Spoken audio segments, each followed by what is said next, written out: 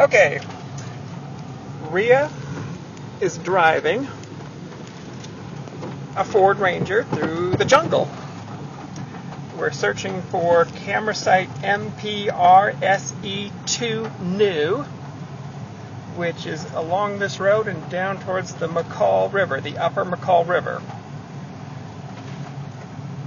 And these are the roads that Rhea so enjoys driving on.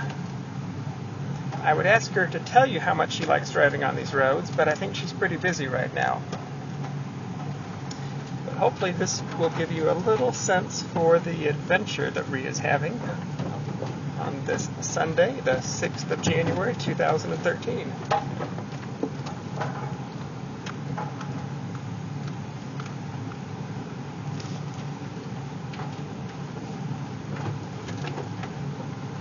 And it just keeps going like this.